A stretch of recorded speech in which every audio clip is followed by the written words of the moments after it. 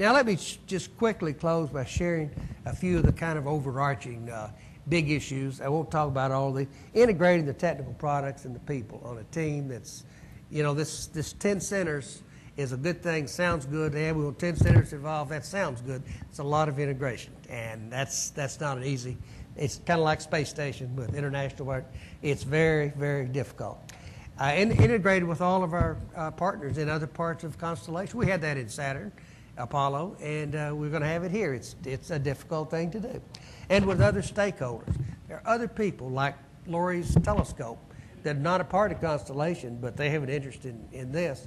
We're talking to other agencies of the government that are also. I have a meeting set up next week with two brigadier generals who have a very strong interest in what they could do with an Ares 5. They want to, they want to see that. They've asked for it. Uh, managing the workload, trying to come off shuttle, uh, come on to Ares 1, come off Ares 1, going with a nationwide team, and everybody's got to be paid.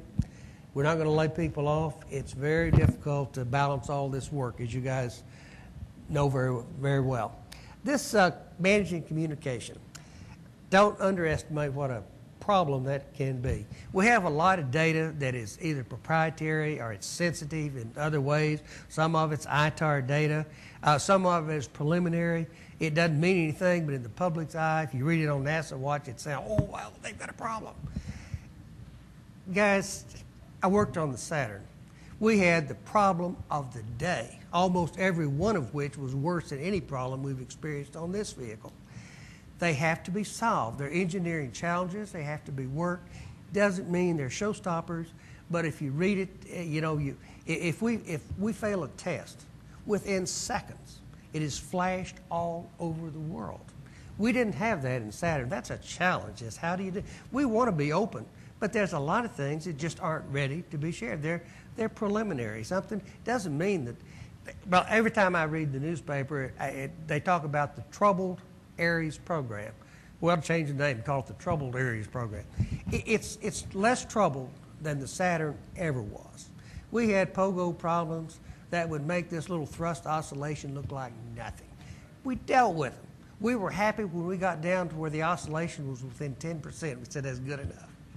We're down at a fraction of 1% on, on this, and we even have a way to mitigate that.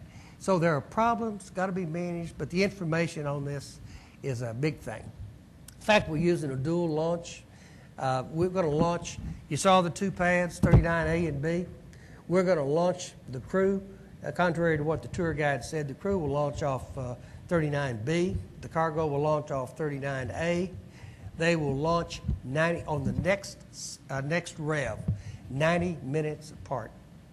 That's that's quite a challenge, uh, but we're going to do that. Yeah, it's a much, yeah, you get two for one. Yeah. Uh, much larger rocket. No one's ever had anything like that. Uh, all of these things are, are, are, management challenges. I won't take more time. I think we're, we've got two or three minutes out of when we should be finished.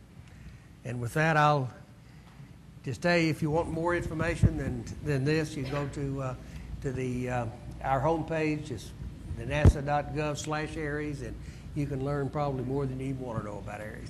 Thank you very much.